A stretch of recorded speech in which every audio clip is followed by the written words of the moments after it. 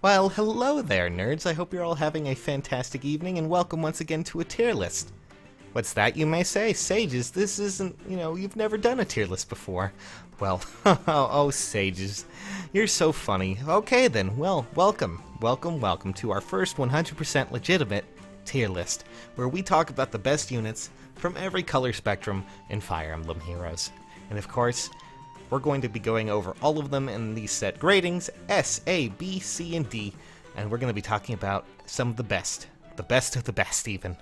Alright, well, how about we start talking about those units then and stop dilly dallying, hmm?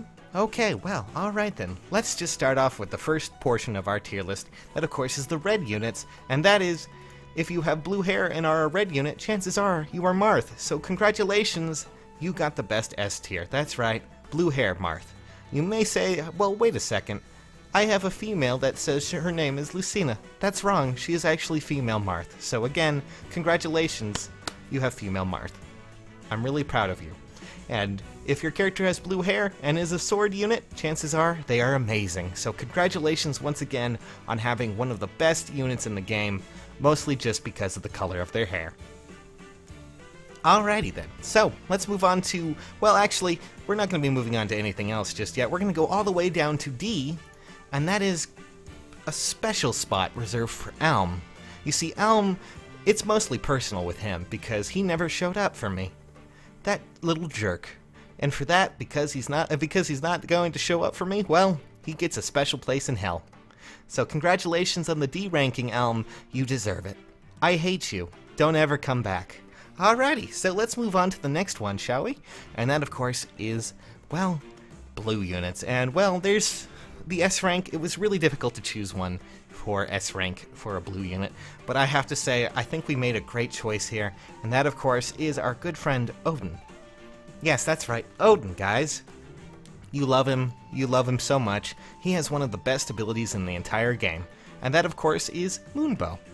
And you might be going, well, then Wait a second, if Moonbow is so good, why have you not included Paula? And the simple answer to that is don't ask questions. This is my tier list. Alrighty then. Okay, move on moving on. If anyone ever questions you, well, I've heard Moonbow isn't that great. Don't listen to them. Send them to my video and tell them, simply put, well, he says, hey, look, this is his tier list, and he says Odin's the best and Moonbow is the best. That's all you gotta do. Just go with that, okay? Alrighty then, let's start off with the next portion. Let's move on to green, and I think we made a very excellent choice for green, because really when it comes down to it, greens are fantastic units. There's a lot of them out there that are just amazing, but we had to narrow it down to one, and that of course is Camilla's left boob. Yeah, you might be asking, wait, Camilla's left boob, but what about her right? Well, science has proven that her right boob is horribly misshapen, so instead we went with the prettier one. Yeah, it just felt right. Honestly, when you look at her, you might be going, well, that would be why I look to her left more than her right, and that's the simple explanation. Her left boob is much better, and therefore probably the source of all of her powers. So, if you ever wanted to know, hey, why do I always look to the left? Well, there you go. It's her left boob. And honestly, that's one of the best green units out there. Give it a good old smack. Not the boob. Just, you know, attack with it. You know what, on second thought, let's just move on to the next best unit out there. And of course, that would be moving on to colorless, and there's a lot there to pick out as well. And, you know, this S unit is someone that everyone loves, and that, of course, is our good friend Takumi's Ponytail. Now you might be going, wait, Takumi's Ponytail? Why him? Well, simply put, it's just because his ponytail has a lot more character than Takumi himself. Mostly, that might be because he comes from a terrible game where he screams at you most of the game. Usually especially if you went Conquest. Still though, it has more character and typically it's a lot more quiet, which is always a fun thing because honestly, Takumi, you just need to shut up, okay? That's all that needs to be done. So there we go, Takumi's ponytail. It's probably, much like Samson, the source of his power. Who knows, we'll see how that goes. But still, we don't have, you know, too much left. Honestly, let's talk about that special tier, and the best tier of them all, let's, you know, let's just take a look at it. That is, of course, our S++ plus tier, which is specially reserved for a horse. Yeah, that's right, guys, a horse. You see right there, that horse right there?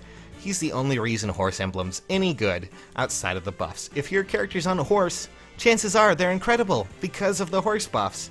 What's that? You have a tome user who was on a horse? Oh man, that's crazy. So let's give a round of applause to that horse, guys. He's a beautiful creature, a beautiful specimen of excellence and brilliance. So yes, there you guys go. That's my first tier list. It is 100% legitimate, and I hope you all enjoyed. If you really did like it, feel free to leave a thumbs up. And also, if you, you know, didn't like it, well, don't worry. It's my tier list. I don't care. So there you guys go. Hope you all enjoyed.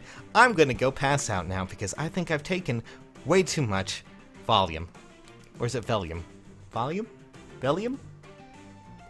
I don't even remember anymore. I think I took like 20. Oh well, don't ever take 20 of them. Bye, guys!